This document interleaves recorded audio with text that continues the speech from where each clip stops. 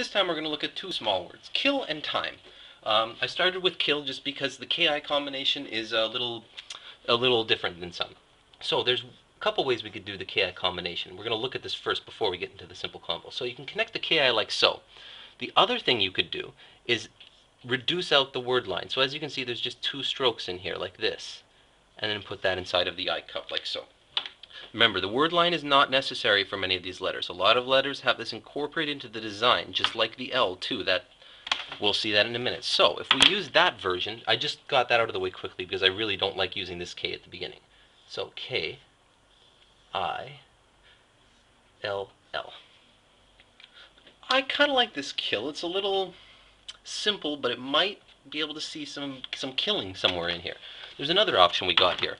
IL can be combined to be, to be this, and then you can continue the word out of here. You can see the L. You could even put two L's there, like so. You can see the L's are inside of the I cup, and they're after the I, because the I cup catches the word, it's the first red, and then you proceed to the next, top, bottom, top to bottom, left to right out in, in proper sequence. So we can go like this. That should actually be kept straighter, straighter than curved, but I like a little curve in it because it gives it a little more feeling. So here's the word kill. Not bad. Time. Now the simplest possible way to combine them would be T-I-M-E.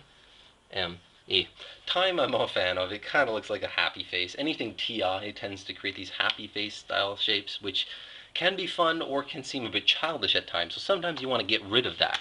Now we've got some options. Remember, first of all, we could just turn the T like so, and all of a sudden we lose that happy face feeling to it. The second thing we can do is we can use the other version of the T. The T can be drawn like so, or it can be a reverse S, specifically ST or TS. But we can use that version of the T whenever necessary.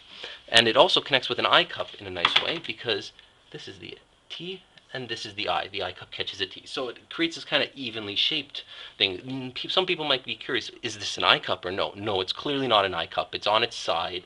It's, it's catching a letter that's going vertical and it's not catching anything above it. If an I started a word, it should be empty. It should not have something in it if it starts the word. So, and that would be, leave us with that. We could then collect the E, time. Kind of like this version. This one looks a little bit more like time to me, maybe. The smiley face version looks a little kitty, so time. We could also try to just pull it off to the side there. We don't actually have to bring it down. Time. So we got a few options here. Now let's put them together and draw kill time.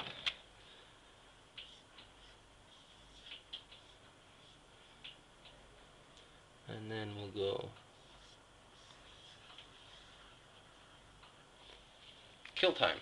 Not bad. Now we have to be careful. This could be an S, but I think it's pretty clear we're dealing with a time here. There's not really any other words or combinations it could be. Just be careful. Remember, the S is this curve here.